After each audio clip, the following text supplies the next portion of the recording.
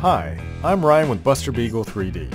Today I'm going to show you how to easily remove plastic from the heat chamber on your Buster Beagle 3D injection molding machine.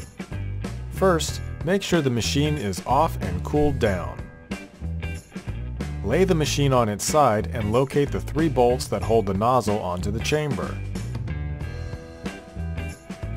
Remove these bolts using a 3 32 Allen wrench or an M2.5. I find it easier to pull the nozzle away with some adjustable pliers. I find that the nozzle usually pulls away without much force at all.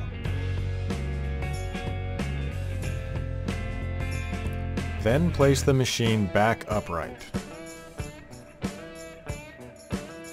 I like to place a paper plate underneath the now open nozzle to catch any debris. I then heat the chamber up to 200 degrees Celsius.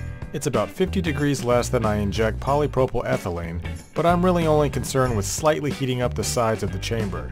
It doesn't need to be fully molten.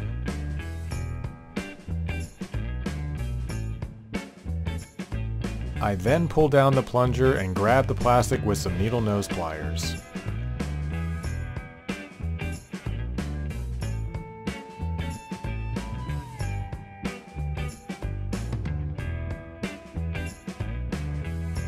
Turn your machine off, let it cool down, put the nozzle back, and you are done and free to change colors as you please.